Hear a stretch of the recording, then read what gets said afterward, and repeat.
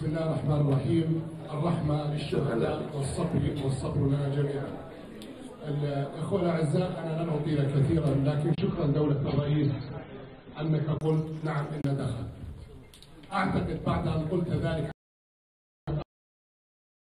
اليوم قبل غد للأمانة وللتاريخ أن نحن لدينا لدينا وبكل صراحة وبكل مواربة أزمة الأزمة الحقيقية تتكلم عن اللجان هذا المجلس الكريم شكل لجنتين لجنة الأسعار ولجنة أحداث الكرك. أعطوني نتائج هذه اللجان هذا واحد. هذا واحد. معلش خلينا نتكلم كلام بالمشرح اثنين معالي وزير التربية والتعليم. أعلن في اللحظة الأولى قبل أن يقول الله يرحم الشهداء قال إحنا ما عندنا دخل. المدرسة هي اللي لها دخل.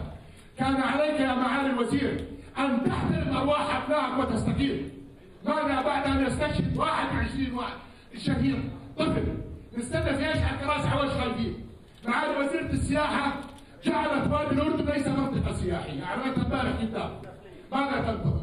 على الأقل قبل أن تباشروا بتشكيل أي لجنة على وزير التربية ووزير السياحة أن يستقيلوا اليوم قبل غد على الأقل احتراما لأرواح الشهداء وشكرا